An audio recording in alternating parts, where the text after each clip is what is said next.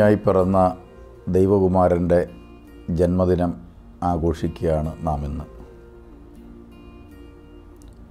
നമ്മുടെ കുഞ്ഞുങ്ങളുടെ ജന്മദിനങ്ങളൊക്കെ നാം പലപ്പോഴും ആഘോഷിക്കാറുണ്ട്. ഒത്തിരി സന്തോഷമുള്ള ഒരാഘോഷമാണ് ജന്മദിനം. ഒരു വ്യക്തിക്ക് ഒരു വർഷം കൂടി തന്റെ ആയുസിന്റെ നാളിൽ ജീവിക്കാൻ ലഭിക്കുന്നൊരു സൗഭാഗ്യം. ഇന്നലകളിൽ കിട്ടിയ നന്മകൾക്ക് നന്ദി പറയുവാനും നാളുകളെ ദൈവത്തിന് സമർപ്പിക്കുവാനുമുള്ള ഒരു പ്രത്യേക പ്രാർത്ഥന. അതിലെല്ലാവരും സന്തോഷിക്കാറുണ്ട്. വരുന്നവരെല്ലാം ഒന്നിച്ചുകൂടി. അതിന് നടുക്ക് ഒരു കേക്ക് എടുത്തു വെച്ച് എത്ര വയസ്സാണോ അത്രയും തിരികൾ കത്തിച്ച് ആ തിരികളൊക്കെ ഊതിക്കെടുത്തി.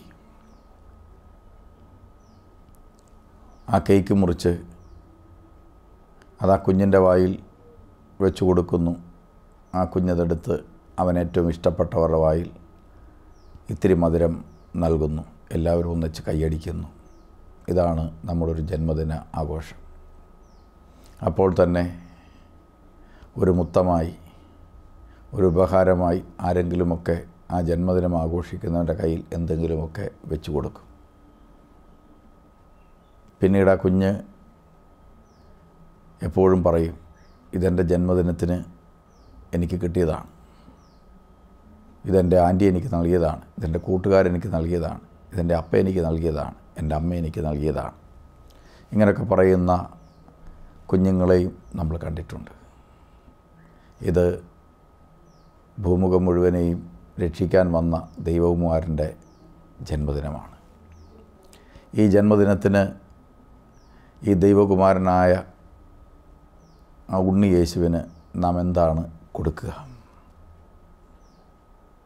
അവന്റെ വായിൽ മധുരം നുള്ളി കൊടുക്കുവാനും അവന്റെ കവിളിൽ മുത്തമിടാനും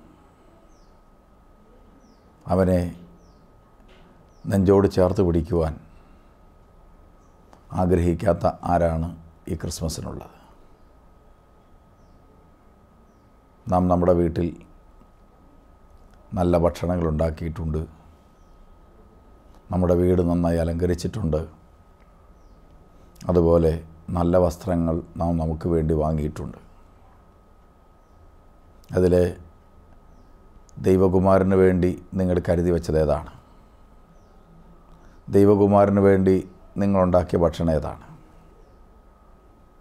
വേണ്ട നിങ്ങളുടെ ഭവനത്തിൽ നിങ്ങളുണ്ടാക്കിയ ഏറ്റവും നല്ല ഭക്ഷണ സാധനത്തിൽ ഒരു പങ്ക് ഉണ്ണി യേശുവിന് വേണ്ടി മാറ്റിവെക്കാൻ കഴിയും. നിങ്ങൾ വാങ്ങിയ ഏറ്റവും നല്ല വസ്ത്രത്തിലെ ഒരെണ്ണം ഉണ്ണി യേശുവിന് വേണ്ടി മാറ്റിവെക്കാൻ. ക്രിസ്തു പറഞ്ഞു നിങ്ങൾ എന്നെ തേടി ഒത്തിരി അലയേണ്ട ആവശ്യമില്ല.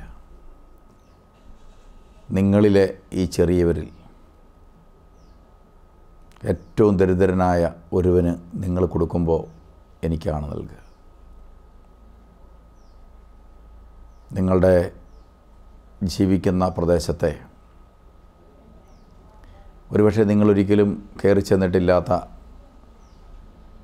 നിങ്ങളൊരിക്കലും പരിചയപ്പെട്ടിട്ടില്ലാത്ത ഏറ്റവും ചെറിയവന്റെ ഭവനത്തിലേക്ക് നിങ്ങളുടെ വീട്ടിൽ വെച്ച ഏറ്റവും നല്ല ഭക്ഷണത്തിന്റെ ഒരു പങ്കുമായി നിങ്ങൾ വാങ്ങിവെച്ചിരിക്കുന്ന സ്നേഹ സമ്മാനപ്പൊതികളുടെ ഒരു പങ്കുമായി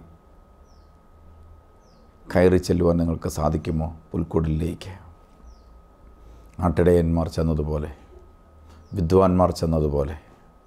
എങ്കിൽ ഈ ക്രിസ്മസിന് ക്രിസ്തുവിനെ കണ്ടെത്താൻ നിങ്ങളെ കൊണ്ടാവും. ഈ വർഷം ഈ ധ്യാന കേന്ദ്രത്തിലെ യുവതി യുവാക്കന്മാർ മറ്റുള്ളവരോട് ചോദിക്കുന്നത് ഞാൻ കേട്ടു. നിങ്ങളുടെ ഭവനത്തിലെ നിങ്ങളുണ്ടാക്കുന്ന ഭക്ഷണത്തിൽ നിന്നൊരു പൊതി നിങ്ങൾ ഞങ്ങൾക്ക് നൽകുമോ? തെരുവുകളിലോ കുടിലുകളിലോ ആരെങ്കിലും ഭക്ഷണമില്ലാതെ വേദനിക്കുന്നുണ്ടെങ്കിൽ ഞങ്ങൾ അവിടേക്ക് കൊണ്ടുപോകാം. എന്റെ ഒരു ആശയം നിങ്ങൾ തന്നെ ക്രിസ്മസിന്റെ ദിനത്തിൽ നല്ല ഭക്ഷണങ്ങളൊക്കെ നിങ്ങളുടെ വീട്ടിലുണ്ടാക്കി വെച്ചിട്ട് അതിൽ കുറേ പൊതിയുമായി നിങ്ങൾ തന്നെ നിങ്ങൾക്ക് ചുറ്റുപാടുമുള്ള നിങ്ങളുടെ അയൽപക്കത്തെ ഏറ്റവും ചെറിയ കുടിലുകളിലേക്ക് ഒരു തീർത്ഥയാത്ര. വലിയ തീർത്ഥയാത്രകളൊക്കെ നടത്തുന്നവരാണ് നാം പാരമ്പര്യമായി. എളിയവന്റെ ഭവനത്തിലേക്ക് ഒരു തീർത്ഥയാത്ര. ഒരുപക്ഷെ നിങ്ങൾ ആ ഭക്ഷണപ്പൊതി കൈമാറുമ്പോൾ അത് വാങ്ങുന്നവന്റെ കണ്ണിൽ നിറയുന്ന ഒരു തുള്ളി കണ്ണീർ. അവരുടെ മുഖത്ത് വിടരുന്ന ഒരു നല്ല ചിരി. അത് നിങ്ങളുടെ അഭിഷേകമാണ് അത് നിങ്ങളുടെ അനുഗ്രഹമാണ്. ഈ ക്രിസ്മസ് ക്രിസ്തുവിനോടുകൂടെ പുൽക്കൂട്ടിൽ ആഘോഷിക്കാൻ ദൈവം നിങ്ങളെ അനുഗ്രഹിക്കട്ടെ. എല്ലാവർക്കും ക്രിസ്തുമസിന്റെ പുതുവത്സരത്തിന്റെ എല്ലാ ആശംസകളും നേരുന്നു. ദൈവം നിങ്ങളെല്ലാവരും അനുഗ്രഹിക്കട്ടെ.